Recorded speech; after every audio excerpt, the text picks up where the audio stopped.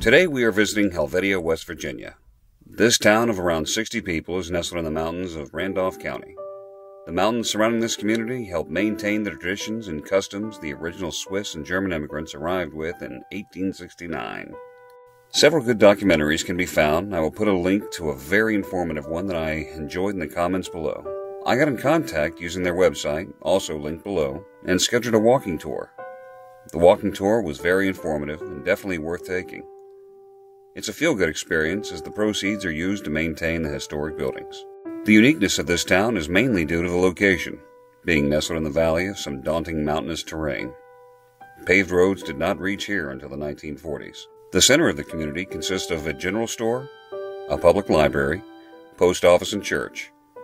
There is also a great restaurant that I would highly recommend. The church, now a Zion Presbyterian Church, was first constructed in 1822. The chimes from the church can be heard hourly throughout the town. Up until the 1950s, the church had bi weekly services conducted in the German language. Walking in the building, I was struck by the stained glass windows that ran along the walls. To be in the middle of the Appalachian Mountains and for a moment feel as if you were in old Europe was a welcome disorientation.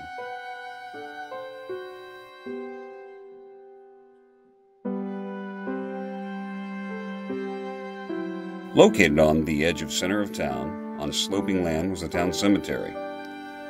All land that was flat within this valley was used for settling on or growing food. The slope, which could not be used for either, was used for giving rest to the departed. I was struck by the upkeep and care bestowed upon the gravestones. Many of the markers reached back to the late 1800s, were clean and still readable.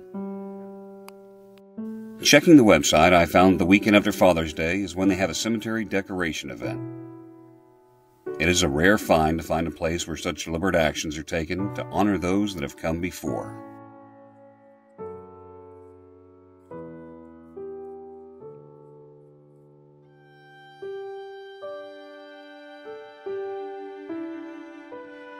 Leaving the cemetery, I followed the left fork, right fork Buckhannon River back to the center of town where I grabbed lunch.